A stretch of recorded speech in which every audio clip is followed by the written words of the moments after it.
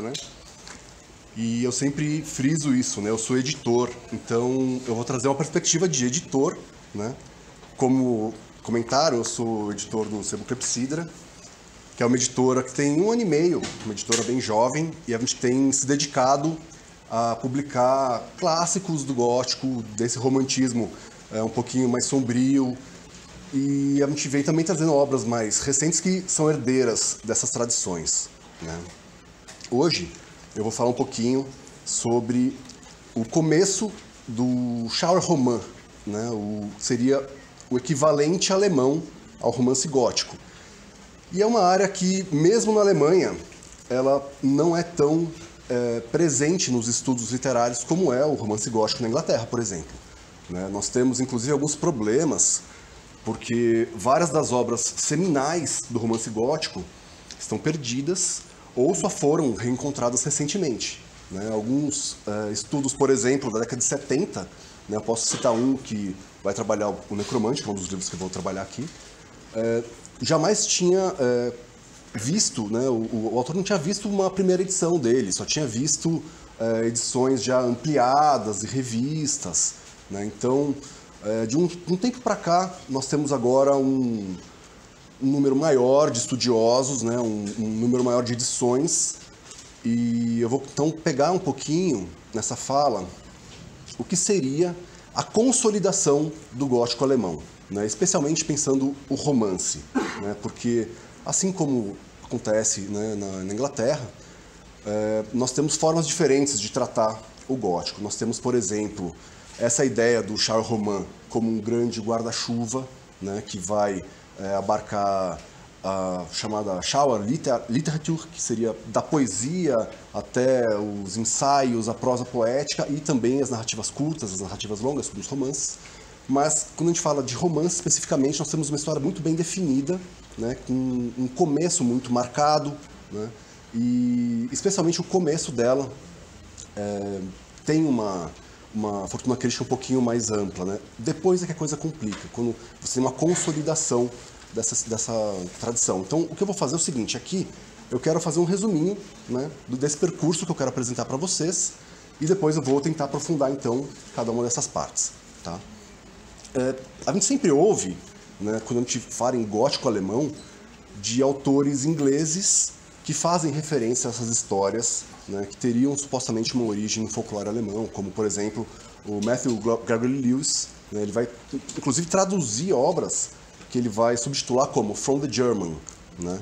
Ele vai fazer é, uma série de, de resenhas, ele vai traduzir autores alemães, ele vai traduzir o próprio Schiller. Né? E existe também um conceito né, de que aquilo que vinha da Alemanha naquela época tinha já um caráter mais terrífico, tinha um caráter mais sensacionalista, né? Só que a gente tem um, um conceito um pouco tardio do que seria esse Charles Roman na Alemanha. Não é um conceito da época. Você não tem na época as pessoas discutindo o que seria esse gênero, né? como há na, na Inglaterra, poucas décadas depois, né? ensaios discutindo a superstição gótica, como do Nathan Drake, ou é, os textos de estética, por exemplo, o, os textos da, da Letitia Aiken, ou é, o texto sobre poesia da Radcliffe, existe pouca reflexão pensando no que seria esse gênero. Para eles foi algo mais natural. Né? Então, é, eu vou trazer duas concepções do que seria né, esse shower roman, que são duas concepções diferentes. Né? Uma um pouquinho mais tradicional, uma um pouquinho mais recente. E a ideia de uma maré gótica, isso é um, uma metáfora né, do, do, Daniel Hall, que eu acho que é muito ilustrativa, porque muitas vezes a gente ouve falar de temas do gótico alemão sendo transplantados para a Inglaterra, né? mas muitas vezes isso não é muito bem depurado, né? porque até que ponto né, isso é uma mão de via única, né? até que ponto não existe um intercâmbio também né, do, no sentido inverso, por exemplo, é, não se fala muito sobre as traduções que o Walpole teve na Alemanha, nesses estudos. Né? E a gente tem, então, é, segundo esse autor, um movimento quase sazonal que vai fazendo com que, em alguns momentos, a Alemanha leve temas para a Inglaterra e, em outros momentos, né, essa literatura britânica influencie a alemã. E os tradutores também são muito importantes nesse, nesse processo todo. Né? Então, a gente vai falar um pouquinho do Necromante, a história da tradução dele, que virou caso de estudos né, para o pessoal dos estudos tradutológicos. Assim. É realmente um vai e vem impressionante. Né? A gente vai falar então um pouquinho do romance que também é considerado não só o marco inicial do Charles Roman, mas também a obra-prima do Charles Roman, que é o Aparicionista, do Friedrich Schiller. Né? E a gente vai falar então um pouquinho sobre influências que ele teve, não só na Inglaterra, não só como um revitalizador do, do romance gótico inglês, no momento em que ele ainda não tinha uma profusão né, de, de, lançamentos, né, e de repente aparece uma obra que mostra é, como trabalhar certas tensões, como trabalhar certas hesitações e como trazer um, um, uma proposta de tratamento do sobrenatural, que é muito novo na, na Inglaterra. Né? Nós temos algumas obras como é, as obras da Anne Radcliffe, que vão trabalhar o sobrenatural explicado, né, na década de 1790, mas na, na, Alemanha isso era feito antes, só que de uma forma diferente. Né? A gente vai comentar um pouquinho o que, que há de diferença nesse sobrenatural explicado da Alemanha e da, das Ilhas Britânicas. A gente também tem aqui é, esses autores que leram a, a, literatura alemã, que tentaram entender, traduzir né, e espalhar essa literatura né, em inglês. Eles são muito importantes porque eles foram os primeiros a comentar essa literatura. E, nesse sentido, o Lewis é o grande vetor, né, ele é a grande referência. Então, é, não só traduzindo, como fazendo compilações, fazendo prefácios e trazendo para os seus romances, né, especialmente para o Monge, né, cenas inteiras tiradas desses romances. Né. O próprio Monge tem várias cenas inteiras que vieram né, transplantadas quase do aparicionista e também do necromante. Né. Só que a gente vai tratar é, da influência desse primeiro romance do, do Schiller como criador de um filão. Né? Os alemães olham para o romance gótico de uma forma diferente né, em relação aos ingleses. Os ingleses tendem a trabalhar grandes grupos, né? Então, é, existe uma, uma definição antiga, uma classificação, uma classificação que é da década de 20, do Montague Summers, que ela é pouco utilizada, ela já está né, meio é, defasada assim, nos estudos do gótico, mas ela é um pouco a base. Assim, né? Então, é, o Summers comentava de um gótico terrífico, de um gótico histórico e de um gótico sentimental. Né? Hoje a gente ouve falar muito mais em um gótico feminino, em um gótico masculino. Né? O romance histórico estudado de forma né, separada e o romance sentimental também com, com autonomia bem própria. Mas o Summers vai trabalhar dessa forma e é interessante ver essa tentativa de aglutinar diversos autores, diversas estratégias narrativas em grandes grupos. Na Alemanha não, na Alemanha existe uma tentativa de você separar os romances por temas. Então cada filão, cada grande tema que se repete vira quase que um subgênero do romance. Né?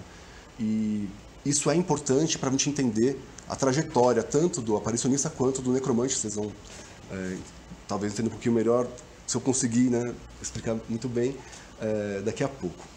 É, e a gente tem que também ter em mente que esses dois romances que eu estou trazendo, eles são bem do comecinho do gótico alemão, né? Então, se nós temos ali na década de 1760 o Castelo de Otranto na Inglaterra, o romance gótico alemão ele só vai aparecer no final da década de 1780, né?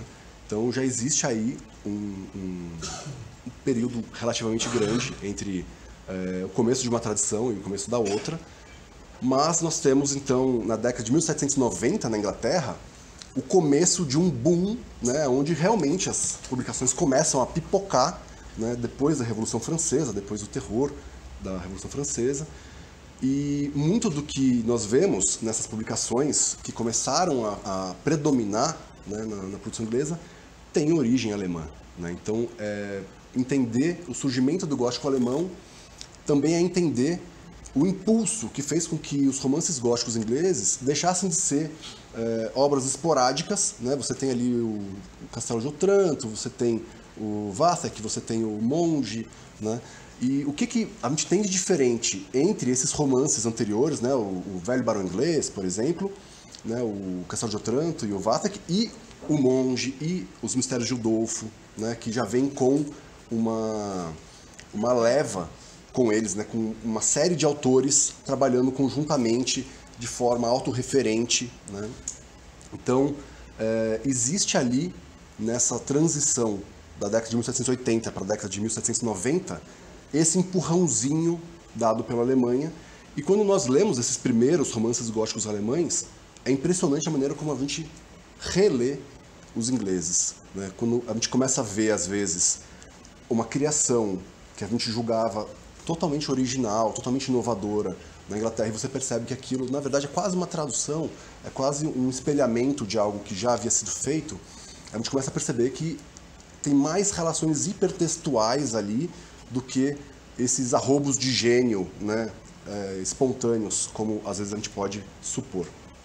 E a gente vai falar um pouquinho também aqui de um tipo de romance né, que nasce junto com o Charles Roman, ou seja, o primeiro Charles Roman, ao mesmo tempo, ele é inaugurador de outros filões do romance. Então, é, vou detalhar um pouquinho isso, mas o principal deles seria o romance necromântico, né, que teve é, muitos escultores na, na, Alemanha e que teve muita influência, né, não só na Inglaterra, mas é, inclusive em outros gêneros, né, como a literatura policial. Né, a gente vai comentar um pouquinho disso. Uh, depois eu vou falar especificamente sobre o necromante. Então, uh, como exemplo né, do, do que virou o romance necromântico, eu vou pegar um deles, que é considerado um dos né, mais representativos, talvez o mais representativo de todos, né, para poder tentar encontrar nele o que, que há de formulaico, o que, que há de típico da época, o que, que há de típico do gênero, né, porque ele foi escrito com uma missão dupla. Né? Ao mesmo tempo, o autor queria criar algo que fosse do gosto do leitor, mas também queria discutir questões polêmicas da época, né, que estavam circulando ali no direito, na filosofia, né, na teologia, né, e que o Schiller vai trazer, vai mostrar como fazer e ele vai então desenvolver. Né?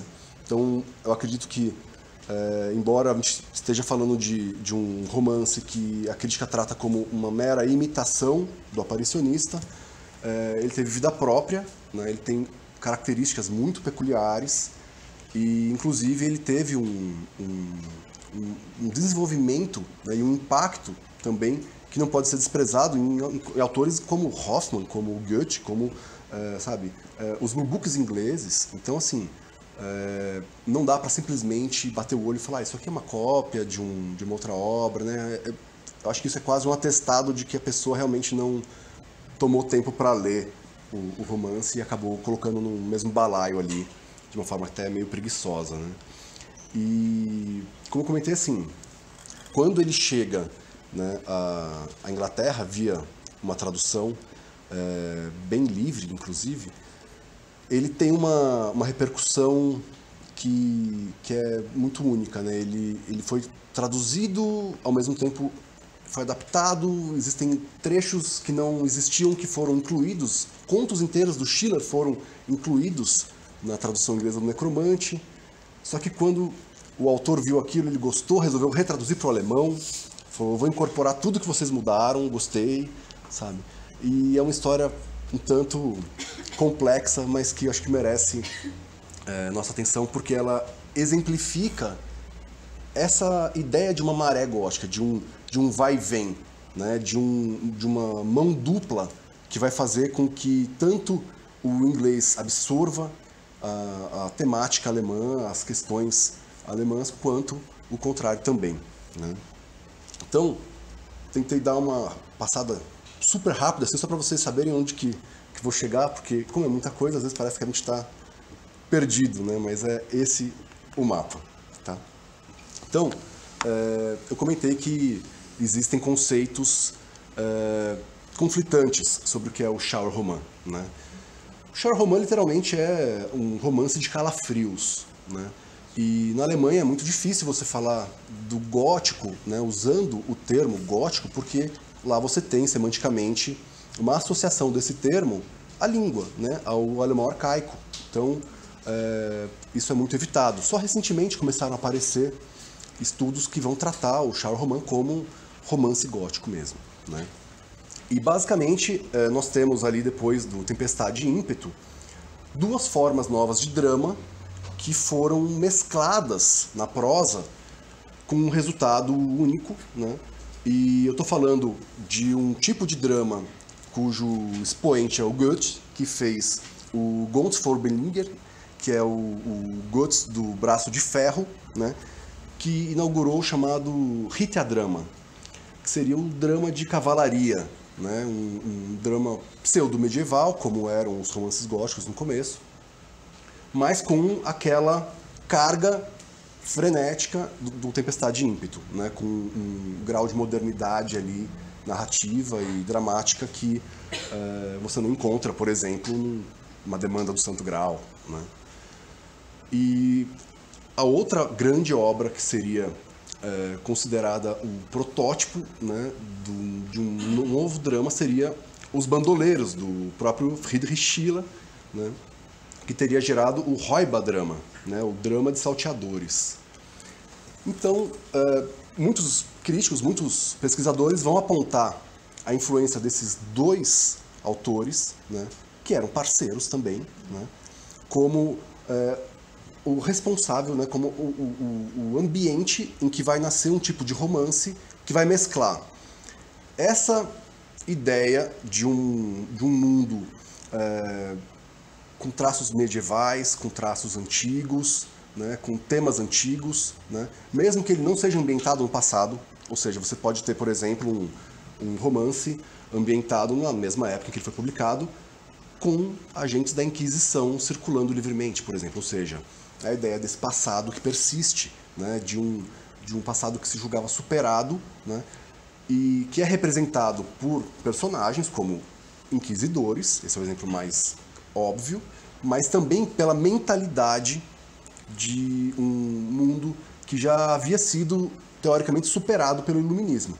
Então, quando você tem é, dentro do, dos grupos esotéricos da Alemanha, por exemplo, o ressurgimento de rituais maçônicos, de sociedades secretas. É, muitos autores vão ver isso com um certo desespero, como se é, o iluminismo tivesse falhado. Né? Então, é, a gente tem uma, uma relação muito próxima entre o gótico alemão e o iluminismo alemão. Né? E, basicamente, a ideia é que quando você mescla esse temor de que o mundo pode estar sendo tomado por sociedades secretas, por um pensamento medievalesco, com crença em fantasmas, com crença em bruxarias, e você tem ao mesmo tempo pessoas de carne e osso fazendo com que isso seja usado de formas escusas para obterem ganhos próprios, é, criando verdadeiras quadrilhas, você mescla ao mesmo tempo o horror e o terror. Então vocês têm ao mesmo tempo você encontrar personagem diante do sobrenatural, por exemplo, diante daquilo que não poderia ser, daquilo que abala a visão de mundo que ela tem, né? porque muitas delas não creem, por exemplo, em fantasmas e vão ter que né, deparar com fantasmas. Mas ao mesmo tempo, se isso não é suficiente, você tem os ladrões, vocês têm os salteadores, os emboscadores, né? os, esses grandes embusteiros. Né? Então, é, uma forma de de descrever o gótico alemão é justamente você pensar nesse emaranhado de assombro com crime, né, de fantasmas com ladrões, de magos, né, que, necromantes, aparicionistas, com também esses líderes de, de quadrilha. Né? Então, esses personagens carismáticos vão aparecer dessas duas formas, basicamente. Né? E isso começa, então, é, com uma, um confronto dessas duas visões que vai gerar o quê?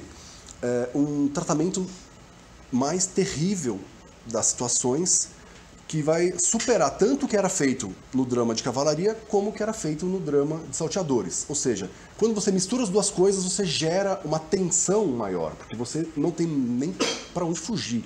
Né? Então é aquela imagem, você está num lugar, tem um castelo abandonado, ele pode ser ao mesmo tempo um castelo mal assombrado, mas também um covil de salteadores. Né? E isso é, acontece literalmente. Né? Vocês vão ver, no, o Necromante tem isso literalmente. Você passa uma parte achando que você está falando de um castelo mal assombrado e de repente você descobre que não, aquilo é um, um covil de, de ladrões. Né? Então, é, literalmente, ele sobrepõe um universo ao outro. Né? É, esse grande mago negro, ele é ao mesmo tempo um líder de quadrilha. Né? É, ao mesmo tempo você tem é, uma narrativa que causa o temor pelo suspense de que algo supostamente sobrenatural pode realmente ser real, pode fazer parte né, da realidade sensível, mas também se, se aquilo não se, não se confirma, quem são aquelas pessoas? Qual é né, a intenção delas de estar tá te colocando frente a uma situação que tem tudo para te apavorar? O que, que, elas querem ganhar com isso? Né? Então, assim, é, você fica entre a cruz e a espada. É mais ou menos esse tipo de tensão que esses romances querem criar. É algo que nem o drama de salteadores, nem o drama de cavalaria tinha conseguido antes. Então, eles incluem o terror né, nessa fórmula. Então, é, como eu falei, essa é uma visão muito aceita, né, o Charles Roman como sinônimo de gótico alemão e como resultado do confronto entre os salteadores e a cavalaria, né, que vai gerar algo com esse aspecto de terror. Mas é, existem alguns estudos, né? Então eu trouxe aqui um, um, esquema do Patrick Bridgewater, que é um, dos maiores estudiosos do, do gótico alemão, um dos mais influentes, que ele vai tentar destrinchar o romance gótico alemão em pequenos subgêneros. E o que é, é notável aqui, né, é que ele coloca o Charles Roman como um subgênero entre tantos outros, não como esse guarda-chuva, né, que nós temos é, até então, né? A gente teve décadas de críticos trabalhando o gótico alemão como Charles Roman. Ah, mas existe também as, as Geistenballaden, né? as, é, as baladas de fantasma, as baladas macabras, né? E você pode considerar elas também como um, um, uma espécie de, de prelúdio do gótico alemão, né? E elas são inclusive muito importantes para esses primeiros romancistas como referência, né? Mas é, alguns são um pouquinho mais metódicos. Então, é, vocês vão ter aqui ó, o começo do gótico alemão com o Geistesia Roman, que é o romance necromântico, né? o Schiller como o grande inaugurador dele. Só que o mesmo livro também inaugura outras vertentes. Né? Por exemplo, esse romance dos Illuminati, né? ou esses romances de Inquisição. Né? E ao mesmo tempo, vocês têm aqui é, o, o Charles sendo considerado como algo que nasceu com, com o Tic em 95, não em 89 com o Schiller. Então são visões que, assim, é, são formas novas de lidar com, com o romance gótico alemão, mas é, são é, obras muito influentes. Acho que, no mínimo, a gente deve reconhecer a existência delas, né, não atropelar esse trabalho de modernização taxonômico, vamos dizer. Né? Mas vocês podem ver, por exemplo, é, do Geisterzia Roman, que é esse romance inspirado, esse filão de romances inspirado pelo Schiller, né? Você tem o Hexenroman, por exemplo, que seria o romance de bruxaria, né? a bruxa âmbar, por exemplo, né? E por quê? Porque a figura central é um feiticeiro ou uma feiticeira, né? É, esse Bundesroman, que seriam os romances de sociedades secretas, seja a Inquisição, seja os Illuminati, não importa. É, seja esse primeiro aqui, é, é, a ideia do tribunal secreto, né, que a gente vai encontrar, em, inclusive no expressionismo alemão, no, no, cinema, né, com o Mabuse, né, com o, o M. Né, então, é, muito do que a gente vai ver no Charles Roman sobrevive no cinema também alemão. Isso é muito interessante para a gente ver depois também. Mas eu queria dar esse panorama porque, assim, a gente precisa saber do que a gente está falando. Né? Então, é, existe sim uma distinção entre Gothic Novel e Charles Roman. Né? São origens diferentes, temáticas diferentes, mentalidades diferentes. Né?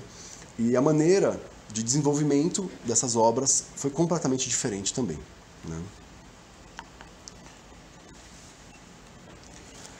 Então, uh, para falar um pouquinho dessas obras, eu, eu não vou começar falando do contexto, vou começar a falar da obra, né, de um desses romances e depois eu retomo o contexto para fazer a ponte para falar da próxima. Né? Então, o Friedrich Schiller é um dos principais nomes da filosofia no idealismo alemão. Ele era um grande parceiro do Goethe, ele era um grande dramaturgo do seu tempo. Né? Ele foi responsável por uma das obras mais influentes né, do, do século XVIII e que perdurou no século XIX, por exemplo, é, com a figura do Karl Moore, dos bandoleiros, que é a ponte entre Satanás de Milton e o herói byroniano. Né? Então, é você pegar aquela dignidade satânica do Milton e transformar aquilo em algo que você encarna num ser humano. Né? E na figura de um bandido. Né? Nós temos o, o Lara, do, do, do, Byron, gente tem o Conrado, né? que é o corsário, todos eles é, herdeiros desse bandido de uma alma bastante admirável que é o Karl Moore, do, do Schiller. E acontece que o Schiller foi preso quando ele lançou essa obra, né? Então ele ficou 12 dias na cadeia. Está falando da dignidade dos bandidos, da crueldade de um, de um Estado que é, não tem nenhuma ideia é, de justiça como valor, né? E ele foi considerado um subversivo foi para cadeia imediatamente. Então o que, que ele faz? Ele começa a pensar, poxa, é, eu preciso de alguma forma sobreviver, eu preciso me sustentar. Ele não era né, é, membro de nenhuma família rica e ele cria uma revista chamada Talha, né, que é o nome da, da musa da comédia, onde ele vai publicar é, dramas, vai falar sobre teatro, vai falar sobre poesia.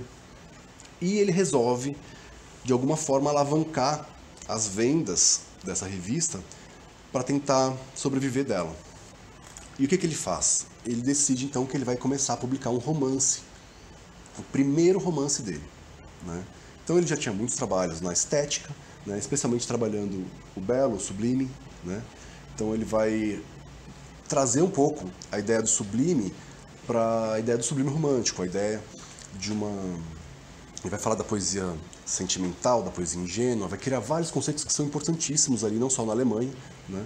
mas é, em toda a teoria do que depois viria a ser o romantismo. Né? E ele resolve então que ele vai escrever um romance ao gosto do público. E isso é muito importante, é um, um ponto-chave e a gente vai retomar isso no Necromante. Ou seja, ele vai observar o que, que está sendo pertinente na época, em termos de discussão filosófica, o que está acontecendo na estética né, literária e o que, que as pessoas estão consumindo né, é, nas ruas, na, na, na, nesse, nesses romances que, que os alemães durante muito tempo chamavam de romances lixo. Né? Então, se não me engano, é Schroeder Roman, não lembro agora o nome exato, mas é, o romance de entretenimento, que eles também chamavam de é, trivial literature, né? ou seja, tipo, a literatura trivial, descartável. E esses conceitos foram também responsáveis por impedir o estudo do gótico alemão por muitas décadas. Né? Muita coisa se perdeu de verdade. Você fala, olha, existem referências, mas ninguém se preocupou em deixar um exemplar preservado em biblioteca, sabe? É, tamanho era o descaso, né? Era algo realmente visto assim, é, como é, se está fora do cânone, não presta, né? Não deve ser é, objeto de estudo, né? Então, os alemães são muito mais rigorosos com o cânone deles do que os ingleses, por exemplo, do que os americanos, né? A gente sabe que o Poe levou um tempo para ser aceito, que o Lovecraft levou um tempo para ser aceito como objeto de estudo, mas nada se compara ao descaso que houve com, com o gótico alemão. Então, é, basicamente assim, a gente tem no, no Aparicionista um romance que fala sobre um príncipe alemão e os nomes dos personagens são totalmente é, apagados, você tem ali asteriscos representando o nome deles, ou a, a, nacionalidade deles, ah, é o armênio, é o siciliano, é o russo, é a grega, porque ele não queria ser preso de novo. Certo. E ele estava falando de pessoas que existiam na época. Né? Então é basicamente um príncipe alemão, ele não é o primeiro na sucessão do trono, e ele vai para Veneza, né, uma espécie de Las Vegas da época, um lugar onde a aristocracia alemã iria para se divertir de forma quase anônima, e ele é descoberto, né? alguém percebe num baile de máscaras em Veneza que ele é o príncipe e se aproxima vestido de armênio para proferir ali um, um, uma afirmação tanto estranha, quase uma profecia. Ele fala: ele vai morrer às nove da noite. Isso uma coisa meio caligaresca, né? Quem conhece o gabinete do Dr. Caligari vai ver uma certa semelhança. E o príncipe se espanta, assim, e ele sabe, ele é tratado pelo nome dele, né? O Armênio fala, olha, fulano. Então ele sabe o nome, sabe quem que é que está ali, né? E ele vai então se preocupar, ele vai se desesperar, porque é, se ele foi descoberto, qualquer intriga relativa à sucessão do trono pode atingi-lo, né? Só que cada vez que ele sai na rua, ele percebe que ele foi furtado. Então roubaram um anel, roubaram documentos, roubaram dinheiro. E ele não sabe quem está roubando ele até que chega de novo né, aquele personagem que era é, alguém que ele só identificava como o armênio e devolve para ele todos os itens e fala: Olha, eu consegui reaver todos os seus itens e eu gostaria que você me acompanhasse para a gente resolver essa questão. Né? Ele já havia se envolvido também numa briga, né? E as pessoas que, que tentaram é, que agrediram ele, mas tentaram matá-lo, na verdade, sabiam também que ele era um príncipe, né? E esse armênio resolve levá-lo para um lugar onde isso vai ser resolvido. Quando ele chega, tá o agressor dele, um grupo de pessoas, e existe ali, de forma improvisada, um julgamento. Então, existe um tribunal secreto, clandestino, que vai julgar. Essa pessoa fala, foi ele que te agrediu? Foi. É, você conhece? Não. Ele te conhece? Ah, ele sabe quem eu sou. Ok, vão lá e cortam a cabeça do cara. Começa assim, né? E ele então fica nessa posição de não saber o que está acontecendo, como as pessoas conseguiram descobrir quem ele era, ele mascarado em Veneza, né? Como que aquele armênio conseguiu reaver os pertences furtados dele, né? E ele começa a perceber na conversa daquelas pessoas que aquele tribunal secreto é a Inquisição, ainda viva secretamente. E ele começa então perceber que existem algumas coisas estranhas acontecendo, né?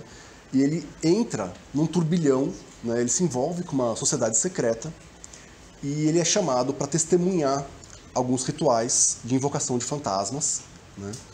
E nesses rituais acontece uma coisa curiosa, ele vai conhecer. Essa aqui, por exemplo, é uma cena de invocação que tem um personagem que é o siciliano, que vai prometer para ele que é capaz de trazer um conhecido dele falecido só que ele é desmascarado no meio dessa invocação, ou seja, é tudo uma fraude, com o uso de uma tecnologia avançadíssima para a época que era a lanterna mágica. Então a gente está falando assim também é, de um romance que não está falando da Idade Média, a gente está falando da tecnologia mais avançada né, da, da do, do, entretenimento óptico da época, né, quase um pré-cinema. Né, e essa coisa meio Black Mirror de falar, poxa, como que a tecnologia pode ser usada para né, é, criar situações de opressão. Então você tem uma pessoa ali é, sendo extorquida por um suposto aparicionista, né, que finge que está invocando um fantasma, mas ela está usando, na verdade, recursos cênicos. Então, queimando pó de, de licônio para poder fazer relâmpago, é, tem alguém é, balançando ali folhas de alumínio para fingir que é um trovão, é, você tem fumaça, as velas com cápsulas para fazer com que elas se apagassem ao mesmo tempo, como se fosse um vento sobrenatural, enfim. E ele começa a ver essas situações, né? Poxa, um, um falso que é desmascarado pelo armênio, que aparece ali e invoca um fantasma, logo na sequência, que ele reconhece como o homem que ele esperava que o siciliano chamasse. Então é como se ele percebesse, poxa, eu vim aqui pedir a invocação de um fantasma, eu não estou vendo direito acontecendo, eu acho que chamaram a pessoa certa, mas aí de repente aquilo é desmascarado, todo mundo vê que é uma fraude, chega um outro e fala: Não, você nunca mais vai fazer isso, mas espera que você quer falar com ele, você vai falar com ele. E invoca esse fantasma e ele não consegue desmascarar essa segunda invocação. Então, ao mesmo tempo, você tem a, a impressão de que existe um sobrenatural explicado e também um sobrenatural explícito. Né? Esse siciliano ele é preso e ele conta uma história sobre esse armênio. Esse armênio, então, é uma espécie de judeu errante uma figura que ultrapassa os séculos e que é conhecido como um mago, como um invocador de fantasmas, como um exorcista. Dizem que ele à meia-noite morre e passa um tempo morto, depois ele volta. Então ele é uma figura é, bastante misteriosa, mas isso sai da boca do siciliano. Então ele também não sabe até que ponto o siciliano pode estar ali agindo como parte de uma, de uma intriga. Né? O que vai acontecer é que basicamente assim, é, cada vez mais o Schiller vai criar um, uma situação de degradação moral, de paranoia desse príncipe. Então, é, as coisas vão acontecendo de um jeito que ele começa a desconfiar de tudo. Então, é, existem atentados que acontecem perto dele, ele vai salvar um marquês que está quase sendo assassinado, né? aí entram os salteadores, né? E fica tudo muito estranho, assim. É, porque, por exemplo, esse cara, ele foi, ele foi assaltado aqui do meu lado para que eu conhecesse ele ele tivesse uma dívida comigo e eu me envolvesse com alguma tramóia dele, ou ele começa a entrar nesse nível de preocupação, né? Ele é levado, por exemplo, numa região onde existe uma, uma igreja católica antiquíssima, ele resolve entrar e ele conhece a grega, se apaixona por essa grega. E ele reconhece, fala, poxa, essa grega, ela é modelo e ela posou para um pintor que fez um quadro de Nossa Senhora que eu tenho na minha coleção.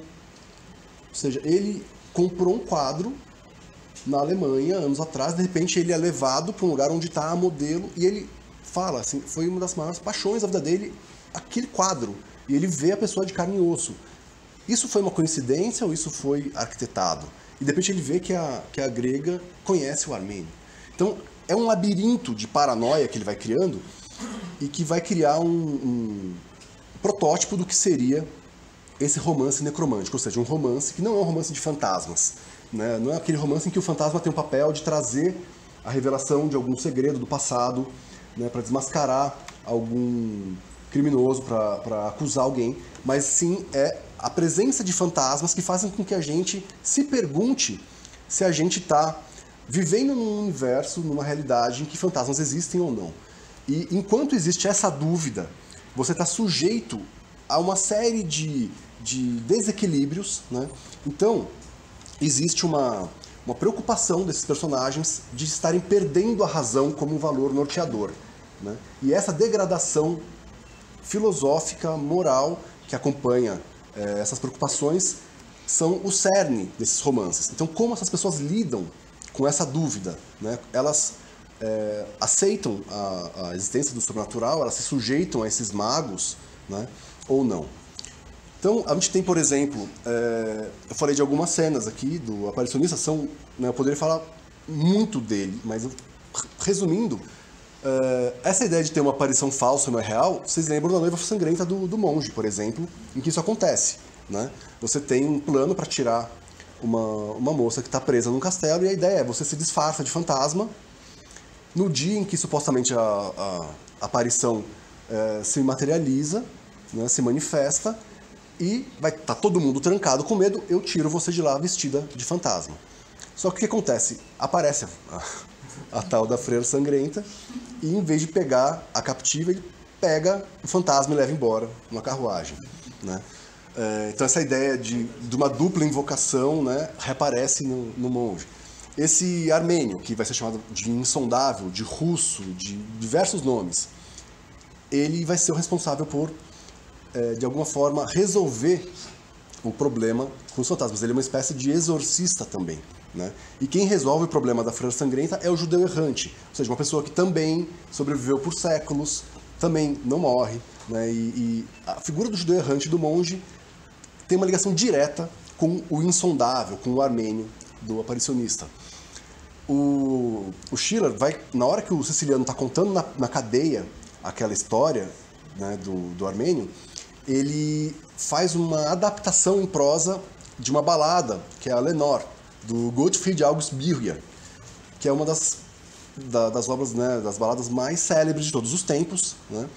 E ele adapta isso dentro do aparicionista, colocando os personagens do aparicionista dentro desse enredo. Né? Então não é algo lírico, simplesmente. Ele vai pegar, vai colocar o armênio, vai colocar o siciliano dentro da história da, da Lenore, que é essa história do noivo fantasma, né? E ele vai então trazer a, a balada macabra alemã como é, uma espécie de é, princípio norteador da estética desse romance, né? E a gente tem a grega, né? Eu comentei, ela, ela posou para um quadro de Nossa Senhora que estava na coleção dele. A Matilda é isso. A Matilda é, é uma, uma súcubo, né? Na verdade, é um demônio que se disfarça de mulher que finge que é modelo, posa para um quadro como Nossa Senhora e faz toda uma trama para esse quadro chegar até a cela onde o Ambrósio vai passar as noites dele. Ele se apaixona por esse quadro, né? E essa esse demônio aparece no, no, no, no convento, no convento não, no, monastério, disfarçada, se dizendo um rapaz deformado com um capuz, e ela vai inclusive é, se arriscar, né? ela vai chupar o, o, veneno de uma picada de cobra do pé do Ambrósio, colocando a vida dela em risco para salvá-lo. E aí é um, mais um passo para a perdição dele, que é algo que, que o demônio arquitetou, né? para que ele se sinta ao mesmo tempo orgulhoso de quem ele é, porque alguém está querendo dar a vida por ele, ao mesmo tempo ele está sendo tentado, né, com toda a sensualidade dessa mulher, que é um demônio, na verdade, e é uma cena muito parecida. Então, quando a gente fala, ah, o Lewis levou temas do gótico alemão, esses são alguns exemplos, né? A balada do, do, do Lewis, né, o Alonso e Moge, que é The Brave Alonso and the Fair Imogene, é uma versão baladesca do Jerônimo Lorenzo, do, que aparece no Schiller. Então, o Schiller pega o poema Lenore, transforma em prosa, coloca os personagens dele no meio, e o Lewis pega e transforma em, em balada de novo, né? E é muito mais parecido o poema do, do, do, Lewis com o Schiller do que com o próprio Birger, né? Então fica clara ali a referência. E o, e o, o Lewis conhecia muito bem o Schiller, ele, existem relatos de que ele se impressionou muito com o aparicionista, né? Então assim, uh, basicamente o que, o que a gente tem é uma criação de um, de um tipo de romance em que os fantasmas não estão ali para a gente discutir é, ontologicamente a natureza dos fantasmas, para discutir é, o que que faz com que um fantasma possa se materializar, o que que faz com que alguém seja capaz de ver um fantasma. Não, isso é ignorado. Né? É, o importante é você, em pleno iluminismo, né, ali, como alguém esclarecido, ouve alguém falando que vai invocar um fantasma. Qual é a sua reação? Né? Você é, tem indícios muito fortes de que aquele fantasma é alguém que você conheceu, aquela, aquele, é, aquela suposta aparição disse coisas que só aquela pessoa sabia. Você fica abalado e como você reage? Esse tipo de, de suspeita é que é a base do romance necromântico. Então, o terror não é tanto aparecer um fantasma, é as pessoas ainda serem capazes de acreditar em fantasmas. É as pessoas ainda serem capazes de querer enganar o outro com essa crença né, na, na, na, existência de fantasmas. Né? E no século XVIII existe um renascimento desse tema. Né? Então aqui é uma tela, por exemplo, de um, de um anglo-americano sobre a passagem bíblica da, da bruxa de Endor, né? que é uma, das duas passagens bíblicas sobre necromancia. Né? Então a gente está falando de algo milenar. Né? Na, no Deuteronômio, a necromancia é abominada. Né? Então existe uma lei contra a necromancia, uma lei, né? E a bruxa de Endor já é uma parte mais narrativa em que o rei Saul chama essa bruxa para que ela consiga trazer para ele um, uma espécie de uh, uma espécie não, ela, ela vai invocar o fantasma de Samuel para que Samuel dê para esse rei um prognóstico da guerra que ele vai enfrentar no dia seguinte. Ele se sente abandonado por Deus e realmente ele, ele vai perder essa guerra e o fantasma deixa isso muito claro para ele, né? Então ele vai estampar ali um destino cruel para esse esse rei. Só que no século XVIII, quando vocês estão vendo um ressurgimento do interesse nesse tema, já aparece ali o fantasma quase como uma fantasmagoria, né? quase como um espetáculo de lanterna mágica, com esse azulado da queima de enxofre que eles usavam, né? É, essa imagem mais translúcida, que era a, a luz projetada na fumaça. Né? Então, ele ao mesmo tempo traz um tema bíblico, mas com a imagem moderna do que era naquela época, né? Isso é de 1777, poucos anos antes da publicação do Aparicionista, né? E também existe a tradição latina a Éricto, né? Que é uma bruxa que o Pompeu, o sexto Pompeu, vai consultar durante a Guerra Civil, que foi contada no, no épico Farsália. E é uma cena terrível, uma cena muito macabra que vai influenciar desde Álvares Azevedo até Horace Walpole. Então, assim, é, ela persiste por, por séculos né, como o maior exemplo do que é um, o sinistro, o macabro na literatura, né, até o romance gótico. Né? E basicamente ela é chamada por Pompeu para também dar um prognóstico sobre a guerra, né? Ele está enfrentando César e quer saber o que, que vai acontecer, né?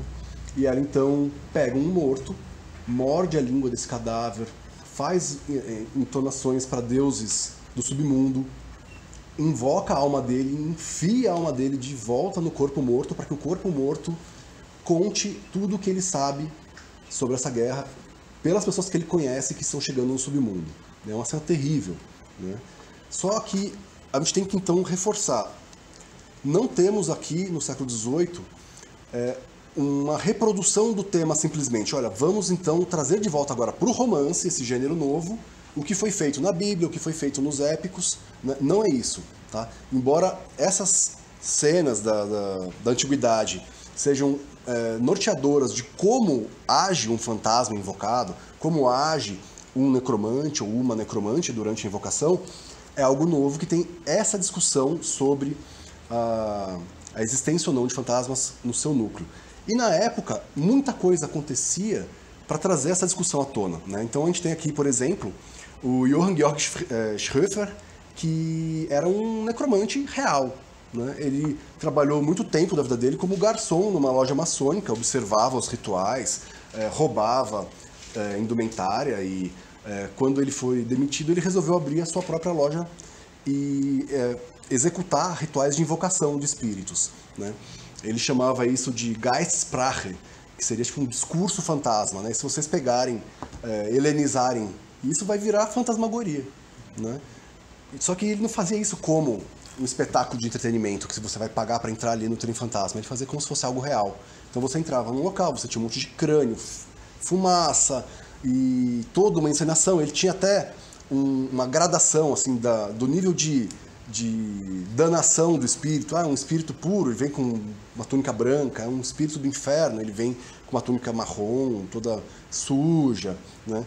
E quando ele morreu, as pessoas passaram a perder um pouco o medo da influência dele e passaram a escrever sobre ele. Né? Então, é, na teologia surgiram muitos panfletos contando né, o que ele fazia de forma a tentar desmascarar o, o, esse suposto poder dele. Né? Uh, nós temos então, uh, na filosofia, por exemplo, paralelamente, né, o Kant vai fazer um, um, livro que é o Sonho de um Aparicionista explicado pelos sonhos da, da razão, uma coisa assim que é uma tentativa de tirar um sarro do Swedenborg, que falava que aprendia falando com espíritos. Né? Então Kant vai criar esse, esse discurso né, em 76. Ele publicou isso anonimamente, né, se não me engano, com pseudônimo. E é uma mistura de literatura com ensaio filosófico em que ele tira um sarro, ele ridiculariza uh, essa figura do, do vidente que vai é, se dizer alguém portador de, um, de uma habilidade de falar com fantasmas tal. Só que ele vai criar algumas teorias também sobre o que, que é o fantasma, né? E acabou sendo influente também por causa disso, porque ele vai dizer que existem fantasmas que são projeções da nossa mente. Então, é quase uma, a, a mente como uma lanterna mágica que produz fantasmagorias é, ilusórias, como se nós fôssemos capazes de nos enganar com o nosso próprio pensamento. Ou seja, não é mais um, um morto né, o espírito de um morto que aparece para te assombrar. É você que é capaz de, com a lembrança desse morto que você carrega em você, projetar para si mesmo uma autossugestão enganosa. Né? E isso vai ter um rebuliço na época, vai criar um, um impacto muito forte na época. No direito, algumas revistas vão publicar artigos, por exemplo, discutindo se você pode usar um relato de um fantasma como prova. E as pessoas usavam. Então, assim, olha, tem um texto que fala assim, ah, é, algo sobre os processos de bruxaria na Alemanha, né? que foi publicado aqui em 1784. E o grande ponto é, aparece alguém acusado de bruxaria e as pessoas estão usando é, relatos de espíritos invocados por necromantes ou que possuem médiums como prova. E isso não é aceitável, né? mas isso acontecia. Né? Então, olha como a coisa estava no ar, né? E havia os debates políticos, por exemplo, foi a época da prisão do Cagliostro, né, que vai influenciar o Goethe a escrever não um, um Geistesea romã, mas como se fosse um Geistesea drama, que ele faz o Grande Kofta, né, que é justamente a mesma coisa que o Schiller faz, que o Flammenberg faz, só que no drama. Né? E também a gente tem esse, esse duque de, de Württemberg, que é a região em que o Schiller nasceu, que é o príncipe do aparicionista. É uma figura né, histórica, que era uma pessoa que publicamente, né, nesse mesmo periódico, escrevia sobre a necessidade de as pessoas terem mais tolerância sobre a crença nos espíritos e que muitas vezes é, dizia algo mais simpático ao catolicismo do que era esperado de um protestante. Isso aparece no Príncipe também. Né? O, o, toda essa trama da Inquisição, ele desconfia que é uma tentativa de tirar né, um principado do protestantismo para trazer para o catolicismo via Inquisição. Né? E então, depois que morre o Schiffer, é, aparece então é, esse Philidor, por exemplo, que vai criar um, um adjetivo que é esse Schihopferich, que seria tipo um Schihofperesco, uma coisa assim, né? como se fosse assim, aquilo que é próprio do Schiffer. Né? Então ele vai criar um espetáculo que é idêntico ao que o Schiffer fazia, só que alegadamente é, falso já. Né? Ele vai expressamente tratar aquilo como entretenimento. Né? E aí, é, a ideia é: estou cobrando ingressos para quem quer saber o que, que o cara fazia a portas fechadas. Vou usar lanternas mágicas, vocês vão ver fantasmas, vocês vão ver o que, que é uma invocação de magia negra, vocês vão ver o que, é uma vela se apagar na hora que aparece um espírito. Só que vocês vão pagar por isso, né? E a gente sabe onde isso vai dar, né? A gente vai logo depois ter a febre dos gabinetes de fantasmagoria pela Europa inteira, pela França, pela Bélgica, né? Então, desse caldeirão é que surgiu esse romance do Schiller. Ele está discutindo coisas que estavam circulando na filosofia, que estavam sendo tratadas na tecnologia, que estavam sendo discutidas no direito, né? Só que esse romance ficou inacabado. Ele acaba no meio. E aí é, existe toda uma espera, né? De, e aí quando vai vir o resto?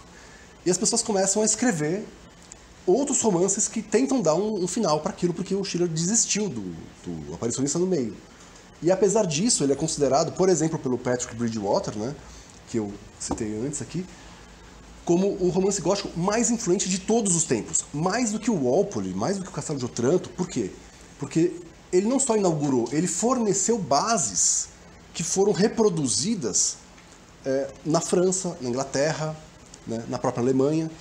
Então, se a gente for pensar só no romance necromântico, no Geistesea Roman, a gente tem listas assim de 20, 30 títulos que são romances que seguem essa mesma linha.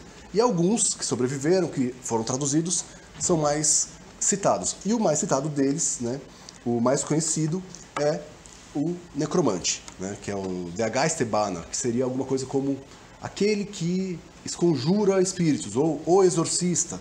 Né?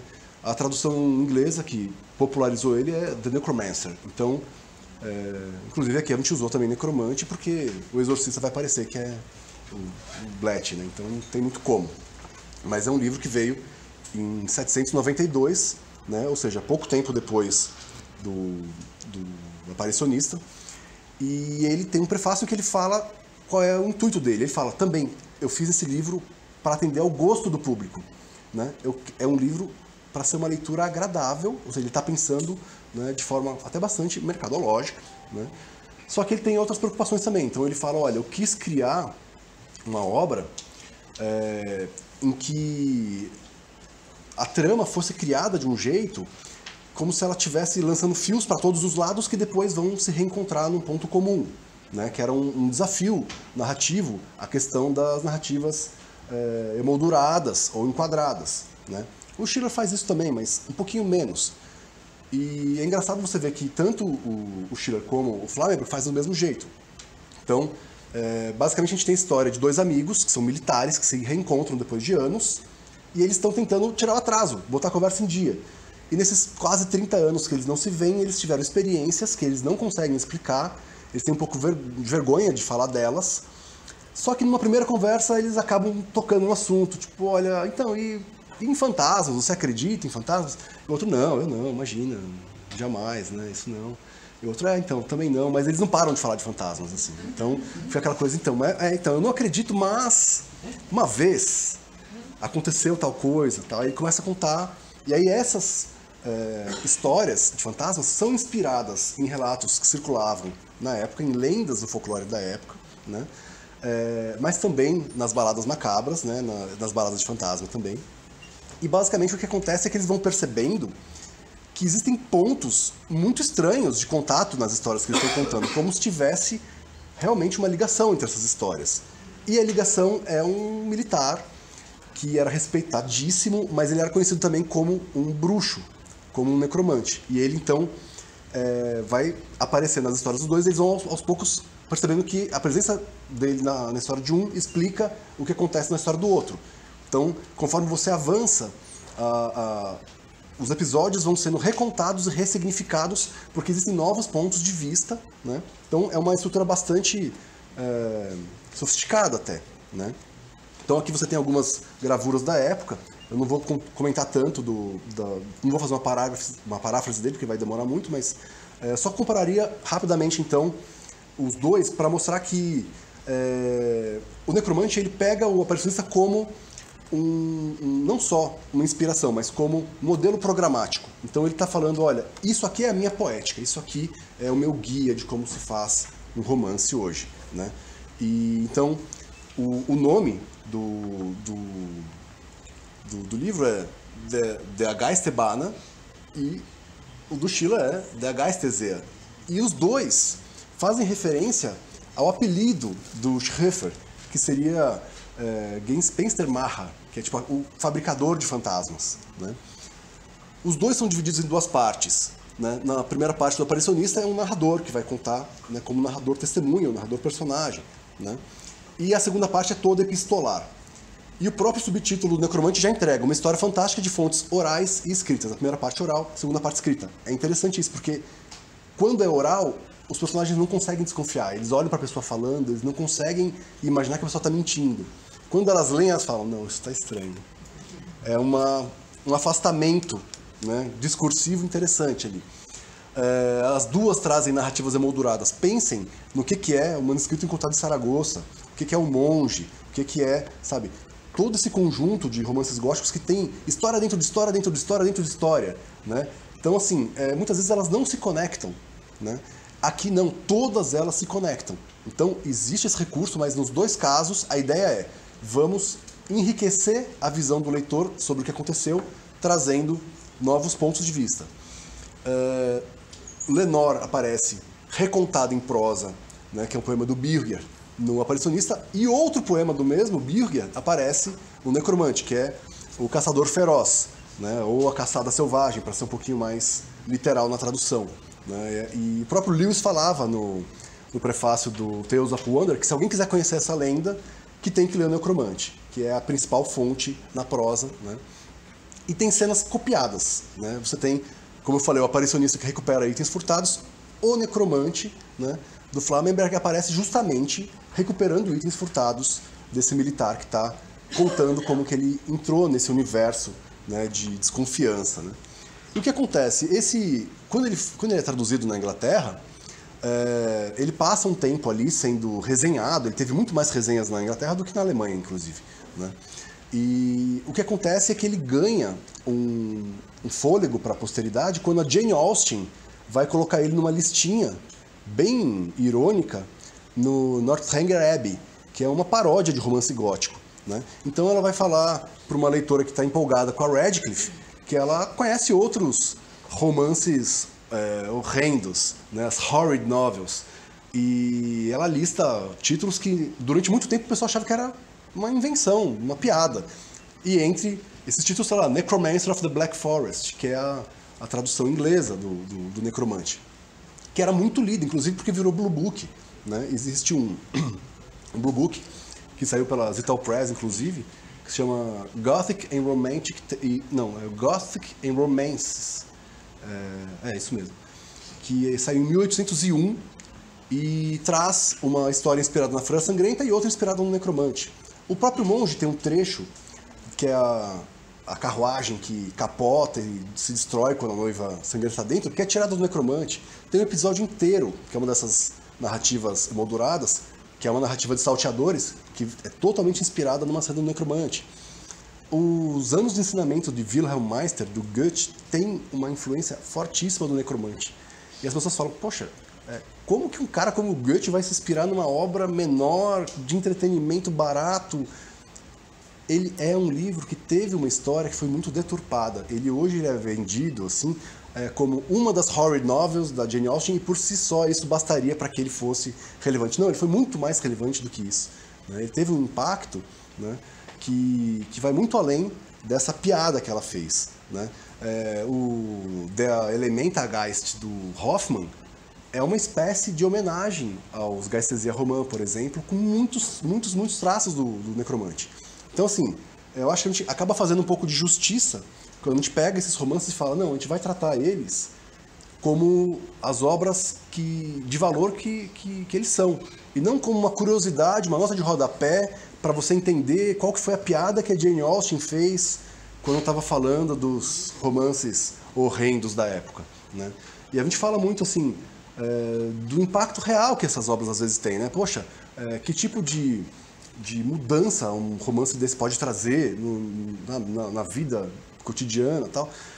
E uma obra como essa, né, e como o aparicionista que seria só uma forma dele tentar capitalizar um pouquinho a revista dele, é, tiveram um impacto de mudar as leis da Alemanha. Então, assim, é, em 1796 surge uma lei proibindo e, e é, determinando uma pena de cadeia para pessoas que se passam por magos.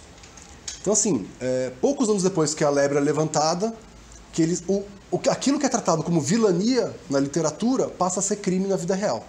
Né? Então é, uma, é um impacto não apenas literário de influência de outros países, de outras tradições, mas também um impacto prático de mostrar que algumas práticas não eram mais aceitáveis numa época supostamente esclarecida, certo? Então, a gente está lançando esses livros, né? Era para ter trazido o Necromante hoje aqui para vocês conhecerem, mas o meu prefácio está um pouquinho maior do que planejado, atrasou um pouquinho, mas logo logo está pronto aí. Eu queria agradecer então a todos vocês pela atenção, pela paciência. Eu estourei um pouquinho o tempo, peço desculpas. E é isso aí, gente. Obrigado.